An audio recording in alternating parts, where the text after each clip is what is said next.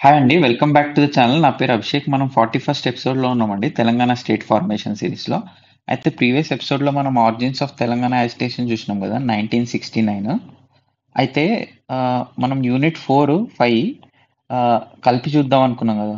మొత్తం 1969 agitation based మీదనే ఉంది కాబట్టి unit four unit five unit four unit five mix చేసి చూద్దాం. అంటే బేసికల్లీ క్రోనలాజికల్ ఆర్డర్‌లో చూద్దాం. అది కొంచెం మిక్స్డ్ ఆర్డర్‌లో ఉంది.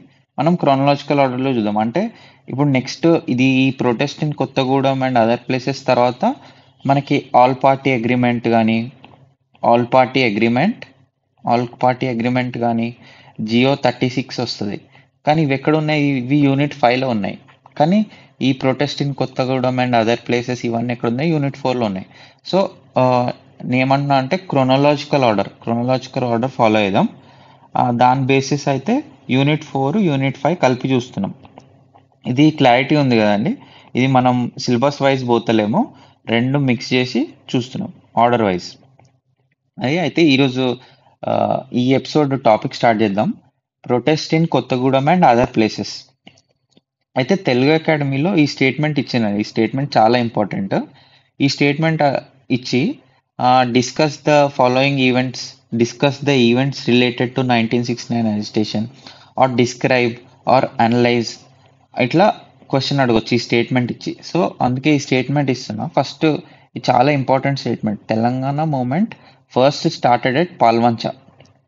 అసలు ఈ పాల్వంచ ఏంది అసలు ఫస్ట్ స్టార్టెడ్ ఎట్ పాల్వంచ అని ఎందుకు అంటుండ్రు? ఇది అసలు ఇమీడియట్ ట్రిగ్గరా? దీని కాజ్ ఏంది? దీని రీజన్స్ ఏంది? అసలు ఈ స్టేట్మెంట్ ఎందుకు ఇచ్చిండ్రని మనం కొంచెం డీటెయిల్‌గా చూద్దాం. ఎందుకంటే మనకి ఇది గ్రూప్ 1 ఆహ్, క్యూ అండ్ ఏకి కూడా హెల్ప్ అవుతుంది ఎందుకంటే గ్రూప్ వన్లో క్యూ అండ్ ఏ బేసిస్ కదా! నేను ఇంతకుముందు కూడా చెప్పిన. వాడు క్వశ్చన్ ఇస్తే మనం 10 మార్క్స్ ఆన్సర్ రాయాలి. టెన్ మార్క్స్ ఆన్సర్ రాయాలి. ఇది ఒక సబ్జెక్టివ్ పేపర్ కదా! సో, ఇది ఈ Telangana movement first started at Palvancha అని అడుగుతూ వీడు రీజన్స్ కానీ, కాజెస్ దాని ట్రిగర్స్ అట్లా అడుగుతుండొచ్చు. సో, ఇది మనం డీటెయిల్‌గా చూద్దాం.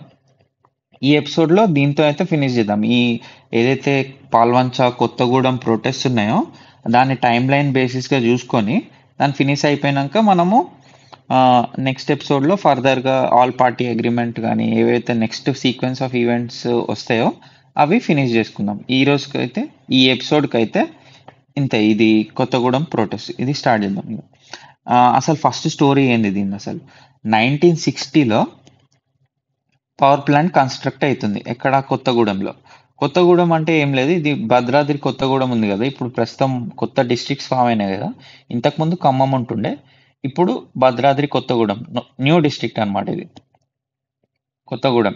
పాల్వంచ, కొత్తగూడెం పక్కపక్కనే. అయితే ఈ పవర్ ప్లాంట్ ఎట్ కొత్తగూడెం అనేది ఇట్ వాస్ స్టా the construct construction started in 1960. 61 అట్లా మొదలైందంటారు. 1960 ఆహ్, it was constructed in nineteen sixty power plant construction అయింది. తర్వాత ఏమైతుంది?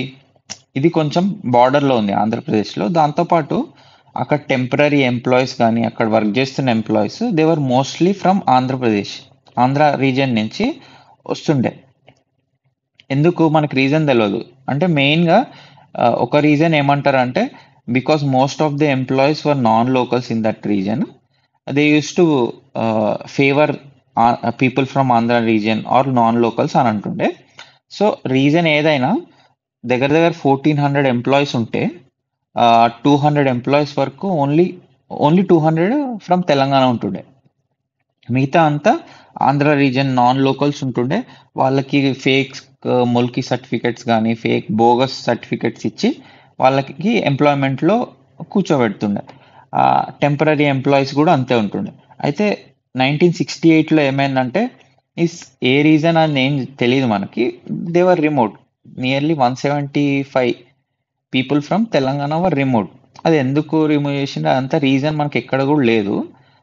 నేను కొంత సెర్చ్ కూడా చేసినా కానీ అది ఏ స్టాండర్డ్ బుక్‌లో దొరకలేదు మీకు ఏమన్నా దొరికినట్లయితే నాకు కమెంట్ చేయండి. కమెంట్ సెక్షన్‌లో మనం ఇది తర్వాత అప్డేట్ చేద్దాం ఏదన్నా. ఇదే అసలు ఎందుకు? దీని రీజన్ ఏంటి? అని అప్డేట్ చేసుకోవచ్చు. కానీ ఏ స్టాండర్డ్ బుక్‌లో అయితే దొరకలే. ఆ రీజన్ పక్కన పెడితే అయితే one seventy five members were removed from service. ఎప్పుడు నైన్టీన్ సిక్స్టీ ఎయిట్ కన్స్ట్రక్షన్ ఎప్పుడు అయింది నైన్టీన్ సిక్స్టీలో పవర్ ప్లాంట్ కన్స్ట్రక్ట్ అయింది నైన్టీన్ సిక్స్టీ ఎయిట్లో అప్రాక్సిమేట్లీ టూ హండ్రెడ్ ఎంప్లాయీస్ ఉంటే from Telangana one seventy five were removed from service అయితే ఈ కొత్తగూడెం ఇప్పుడు ఎంప్లాయీస్ ఉన్నారు కదా ఈ పవర్ ప్లాంట్లో ఏదైతే ఎంప్లాయీస్ ఉన్నారో వాళ్ళు ఏం చేసిండ్రంటే ఈ హైదరాబాద్ ఎన్జిఓస్ అంటే నాన్ గెజెటెడ్ ఆఫీసర్స్ వాళ్ళతో కలిసి దే స్టార్టెడ్ ప్రొటెస్టింగ్ అరే ఇప్పుడు ఎందుకు రిమూవ్ చేసిండ్రు? ఇట్లా నాన్ లోకల్స్ని అపాయింట్ చేసుకుంటున్నారు ఎంప్లాయ్మెంట్లో and they are mostly from Andhra. ఇది ముల్కీ రూల్స్ పక్కా ఇంప్లిమెంట్ చేయాలి. ముల్కీ రూల్స్ ఇంప్లిమెంట్ చేస్తారని జెంటిల్మెన్స్ అగ్రిమెంట్ వీటిలలో కూడా చెప్పిండ్రు so Mulki rules must be implemented దీనికోసం అని వాళ్ళు కొట్లాడుతున్నారు. అంటే ఇప్పటికే అప్పుడే తెలంగాణ స్టేట్ అసోసియేషన్ స్టార్ట్ కాలే. అంటే మాకు సెపరేట్ స్టేట్ కావాలి అది కావాలి ఇది కావాలని ప్రొటెస్ట్ అయితే స్టార్ట్ కాలే. ముల్కీ రూల్స్ ఇంప్లిమెంట్ చేయండి లోకల్ రిజర్వేషన్ కల్పించకుండానే ప్రొటెస్ట్ అవుతున్నాయి ఎవరు ఈ కొత్తగూడెం ఎంప్లాయీస్ అక్కడ లోకల్ సపోర్ట్ కూడా బాగుంటుండే.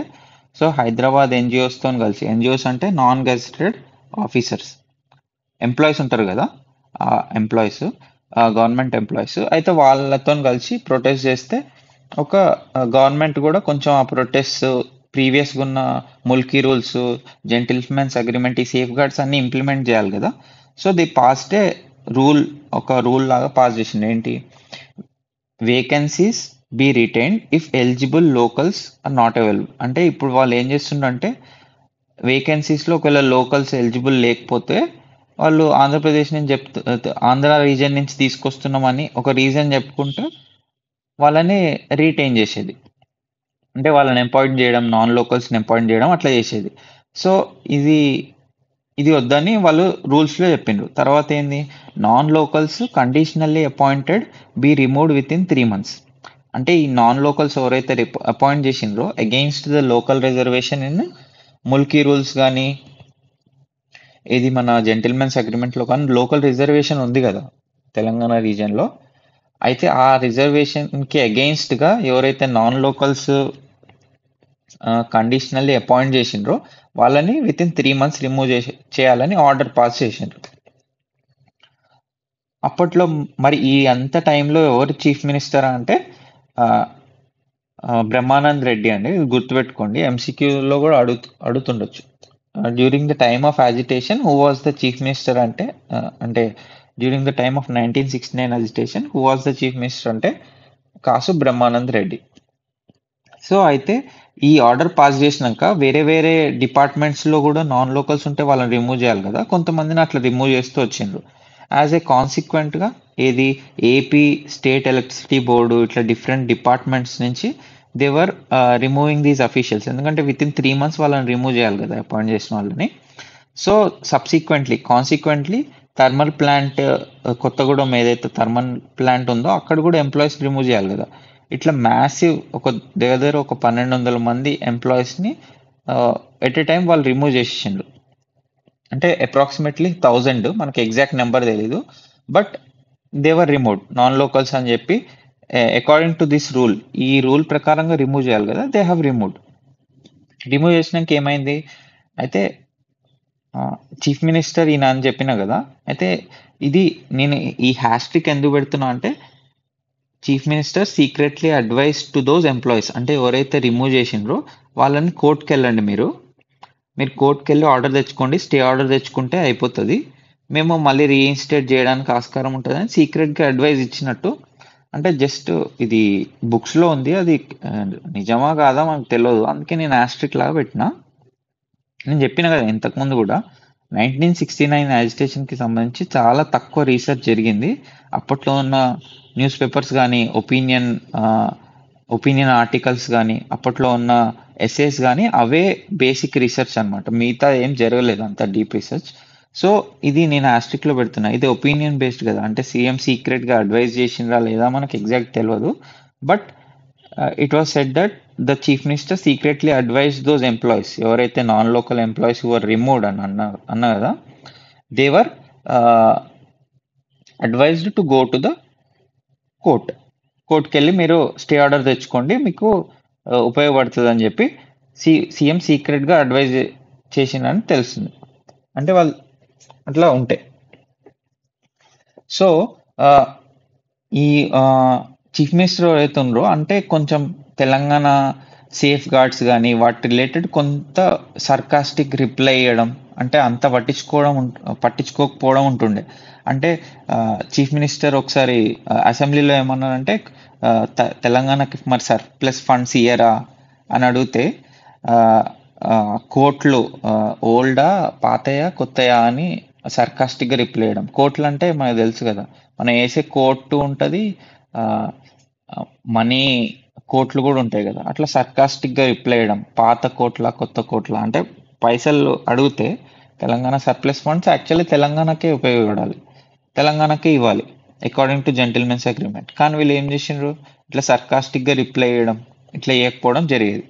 తర్వాత ఏంది? ఒకసారి హైదరాబాద్ ఎన్జిఓస్ అంటే వాళ్ళ రిలేటెడ్ ఇష్యూస్ ఎన్జిఓస్ కూడా పోయి కలిస్తే ఇట్లా మాకు కోర్ట్ కేసెస్ అవుతున్నాయి ఇబ్బంది అవుతున్నాయి అంటే మీరు కోర్ట్ ఫీ పెంచితే అయిపోతుంది మీ కోర్ట్ కేసులు ఎందుకు వెళ్తారు మీరు అని చెప్పి అట్లా సై సర్కాస్టిక్గా రిప్లై చేయడం కొంత రెస్పెక్ట్ ఇవ్వకపోవడం అట్లా జరుగుతుండే. ఇవన్నీ కాజెస్ అనమాట ఇవన్నీ ట్రిగ్గర్స్ అవుతున్నాయి నెమ్మదిగా ఇట్లా మరి ప్రొటెక్షన్స్ని అంత పట్టించుకోకుండా they are further going towards అంటే వాళ్ళ నచ్చినట్టు చేస్తున్నారు. ఇట్లా నెమ్మదిగా జరుగుతూ వచ్చింది. అయితే third January nineteen sixty sixty nine ఏమైందంటే హైకోర్టు వర్డిక్ట్ ఇచ్చింది. ఏంటి? ఈ ఏపీ స్టేట్ ఎలక్ట్రిసిటీ బోర్డ్ అనేది ఒక autonomous body why should it give local reservation అంటే అదొక ఆటోనామస్ బాడీ కదా. గవర్నమెంట్ ఇన్స్టిట్యూషన్ అయితే లోకల్ రిజర్వేషన్ ఇవ్వాలి అకార్డింగ్ టు జెంటిల్మెన్స్ అగ్రిమెంట్ కానీ ఈ అటోనామస్ బాడీ ఇట్లా కార్పొరేషన్స్ వీటికి ఇయ్యరు. అటోనామస్ బాడీస్ అని చెప్పి లోకల్ రిజర్వేషన్స్ ఉండరు అప్లికబుల్ కాదని చెప్పి అప్పుడు హైకోర్టు వర్డిక్ట్ వచ్చింది. దీంతో ఇక ఇది one of the main causes for starting the movement for separate state అనమాట ఇప్పటివరకు మనం చూసినాం కదా these are starting a movement for protections అంటే మాకు ఈ ప్రొటెక్షన్స్ కావాలి లోకల్ రిజర్వేషన్ ఇంప్లిమెంట్ చేయమనే కదా ఇవన్నీ. ప్రొటెస్ట్ కానీ ఇవన్నీ చేస్తుంది. ఎందుకు లోకల్ అదేంటి రిప్రజెంట్ అదేంటి జాబ్స్ కావాలి ఎంప్లాయ్మెంట్ కావాలని. కానీ ఏదైతే ఈ జడ్జ్మెంట్ తర్వాత వచ్చిన ప్రొటెస్ట్ ఉన్నాయో they were mostly separate state movement అంటే మాకు సెపరేట్ స్టేటే కావాలి ఏకంగా. ఈ ప్రొటెక్షన్స్ కాదు ఈ ప్రొటెక్షన్స్ ఇట్లా ఉంటే మీరు ఇంప్లిమెంట్ చేస్తలేరు అని చెప్పి సెపరేట్ స్టేట్ మూమెంటే స్టార్ట్ అయింది. This was one of the main reasons ఈ హైకోర్టు వర్డిక్ట్ అని. సో ఇది మనం తర్వాత డీటెయిల్ చూద్దాం. దీని తర్వాత అసలు ఏమైంది? ఏంటి? Immediate so the this was the immediate trigger అనమాట ఎందుకు Telangana movement first started Palvancha reasons అవన్నీ అంటే సో ఇదంతా మీరు రాస్తే బాగుంటుంది ఆన్సర్లు సో నెక్స్ట్ ఎపిసోడ్లో మనం ఫర్దర్గా డిస్కస్ చేద్దాం. Nineteen sixty nine station main events ఉంటాయి కదా అవన్నీ డిస్కస్ చేద్దాం. ఇందులో అయితే మీరు బ్రీఫ్గా చెప్తున్నా నేను. First movement for protections movement for protections so slowly turned into movement for movement for a separate state movement for a separate state ఇది గుర్తుపెట్టుకోండి. ఇవన్నీ మూమెంట్ ఫర్ ప్రొటెక్షన్స్ ఏదైతే ఎంప్లాయీస్ చేస్తున్నారో ఇవన్నీ లార్జర్ స్టేట్ మూమెంట్ ఎప్పుడైంది? ఆ ట్రిగ్గర్ ఏది? High court verdict was the main reason main trigger అక్కడి నుంచి ఇంకా మ్యాసివ్ ప్రొటెస్ట్ తెలంగాణకి ఒక సెపరేట్ స్టేట్ కావాలని స్టార్ట్ అయింది. సో ఫర్దర్గా చూద్దామండి నెక్స్ట్ ఎపిసోడ్స్లో మనము మీకు యాజ్ యూజువల్ ఏమైనా క్వశ్చన్స్ డౌట్స్ సజెషన్స్ ఉంటే మీరు కమెంట్ చేయండి. ఏదైనా ఎక్స్ట్రా ఇన్ఫర్మేషన్ దీనికి రిలేటెడ్ ఉన్నా మీరు కమెంట్ చేయండి. నేను రిప్లై ఇస్తే ఏమైనా ఉంటే మనం ఫర్దర్గా అప్డేట్ అప్డేట్ కూడా చేసుకోవచ్చు. థ్యాంక్స్ అండి. Thanks for watching the video see you to